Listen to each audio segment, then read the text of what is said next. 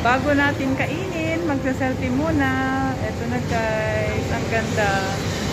Oh, di ba?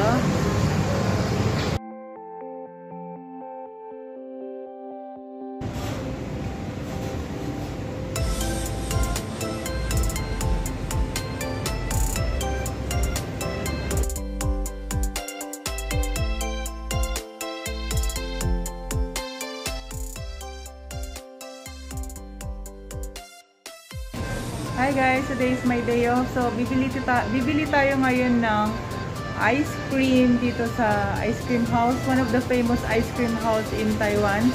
So, tara guys, try natin. Dito, mapa-winter at summer, mahilig ang mga Taiwanese dito kasi medyo pricey ang ice cream nila dito guys. So, try natin kung masarap yung ice cream nila dito. So, tara guys, samahan niyo akong bibili.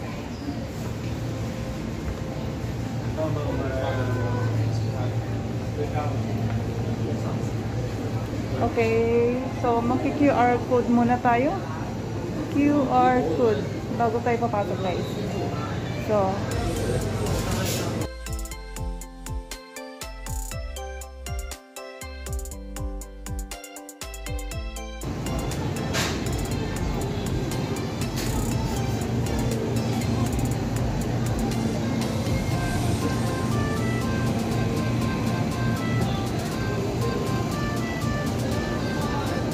Tingnan natin guys. Tignan natin. Honey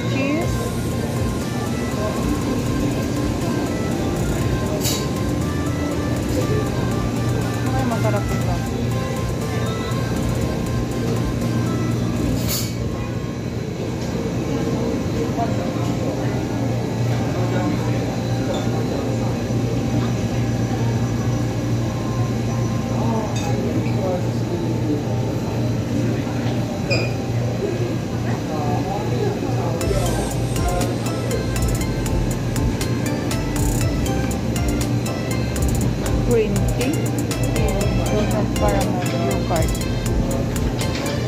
this so ay masarap dito